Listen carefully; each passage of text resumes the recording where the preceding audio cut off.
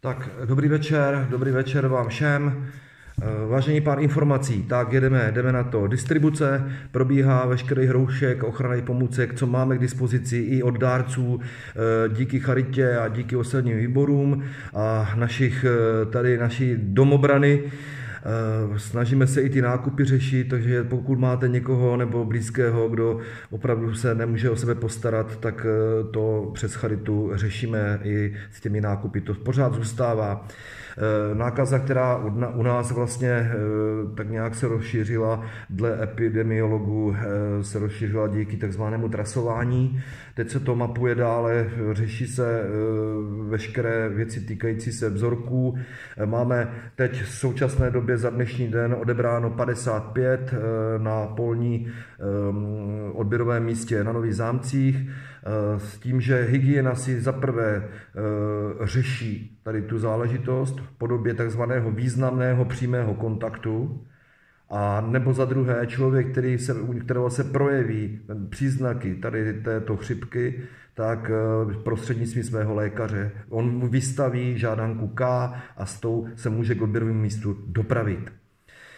V pátek nebo v sobotu proběhne vyhodnocení a uvidí se, uvidí se, jakým způsobem eh, to bude s námi dál a věřím tomu, že eh, dobře, že ten počet díky té karanténě nebude již narůstat, ale musíme si věřit, nám nic jiného nezbyde.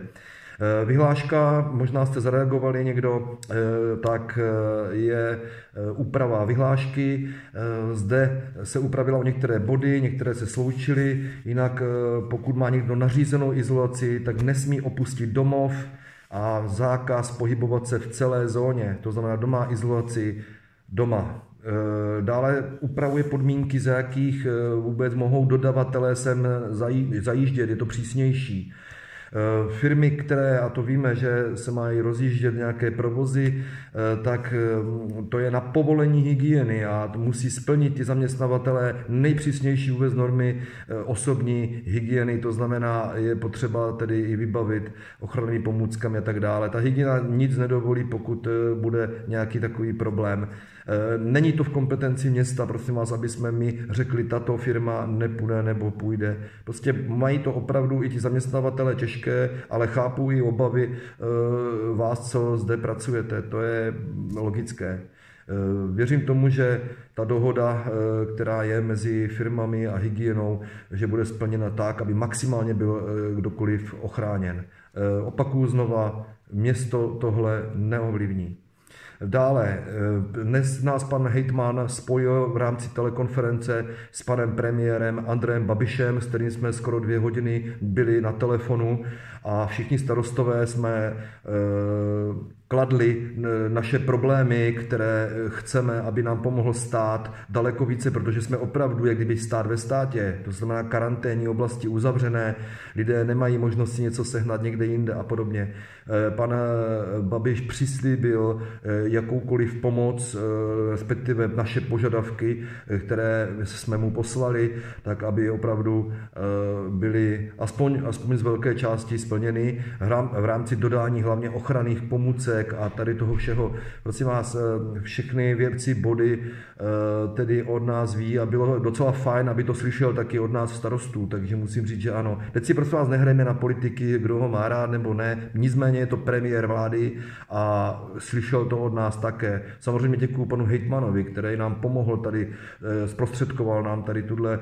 telekonferenci a mám vás pozdravovat od obou. Tak, jedeme, jedeme dál.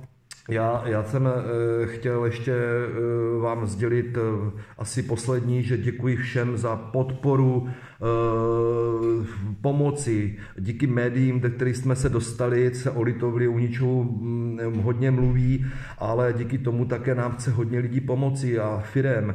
Z celé kouty tady přijela dneska paní z Plzně autem, aby nám dala 50 roušek, jo, nejdražší roušky v jejím životě, ale to jsou jenom detaily. Čes eh, nadace nám daroval darovala na charitu u ničeho Flitovel 50 tisíc. Eh, můžu pokračovat dál. Zítra přijedou 9 hodin kamion, 14 palet, granulí pro psy, eh, přijedou deskové hry, 700 kusů, přijede spousta potravinových pomocí a podobně. To dáváme, prosím vás, taky těm lidem takhle na ty vesnice nebo lidem, co mají problém s tím nákupem.